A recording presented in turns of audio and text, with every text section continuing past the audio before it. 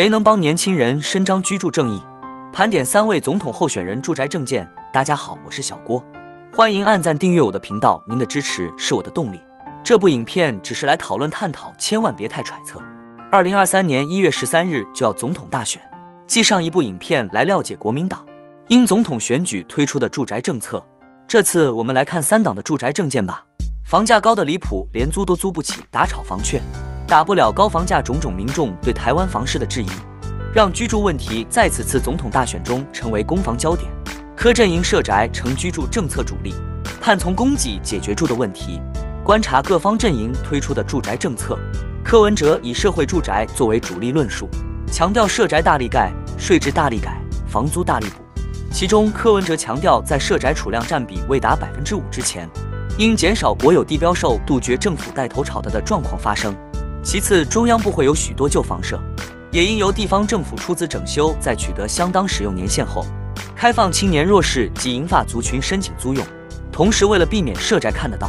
住不到，也应建立全国一致的轮候制，提升公平性。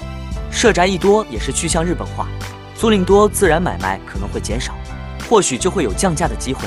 另外，针对租屋市场，柯文哲喊出减少租屋黑市的口号，强调提供房东又应降低因税金增加而拉高房租的情形，鼓励更多空屋释出，且也主打租赁所得分离课税。以及针对诚实申报房东不行使过往欠税和课的房东大赦条款，期盼以此减少租屋黑市，让政府得以掌握民间房屋。整体而言，柯文哲虽然并无特别强调打房这件事，但期盼以供给面解决民众住的问题，因此以社宅及租屋市场作为居住政策主轴。赖阵营延续蔡政府执政基调，续打炒房，同时讨论社宅。民进党政府过去几年来。对于房市问题，推动诸多打炒房措施，以及如囤房税等税制改革。不过，对于外界期盼能抑制房价的效果并不佳。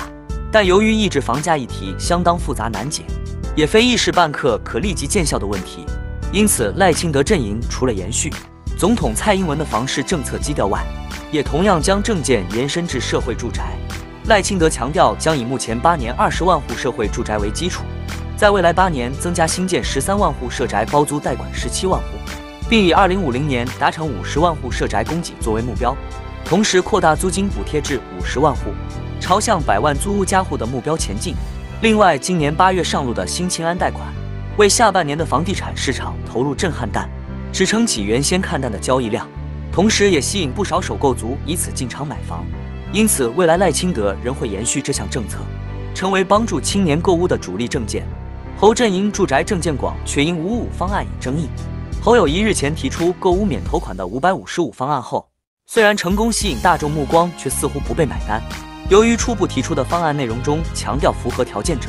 可有免头期款全额贷贷款额度一千五百万，利息补贴百分之零点五等优惠，但外界普遍认为，若这项证件得以实现，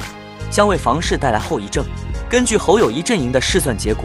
若购买总价一千五百万的房子，在前五年的宽限期内，只需要月付一点九万元。但是专家推估，过了宽限期之后，第六年起一个月要缴的房贷恐怕跃升至五万元左右。而以台湾民众月薪中位数四点二万元来看，真正使用五五五方案购物的民众，除了还款能力备受挑战外，再加上十年闭锁期限制，很可能还不出房贷，又不能卖出，最后只能流入法拍市场。至此，年轻人将留下信用污点，也会冲击房地产市场。这也引发外界对侯康阵营的批评声浪。高房价难解社宅成抢攻年轻人选票关键。现在台湾民众所面临居住问题，最需要被解决的仍是租屋黑市，像是对于房东的查税亦或全面赦免。以目前情况而言，仍是政府较不愿触及深入解决的问题。另外，虽然三组候选人都有强调增加社会住宅的供给，但是盖社宅并非一蹴可及，还需要经过土地、房屋、供料等规划。才能慢慢增加供给，在配套措施需长远规划的情况下，要实质看到社宅供给大幅增加，解决民众住的问题前，还有一大段路要走。观察三组候选人的政见，赖清德及柯文哲的住宅政策，主要对应的是年轻族群买房的痛点，而柯文哲或许本就较受年轻人欢迎，因此将主轴定调在社宅供给上。不过由此看来，年轻族群的选票将成为此次大选中。兵家必争的大票仓。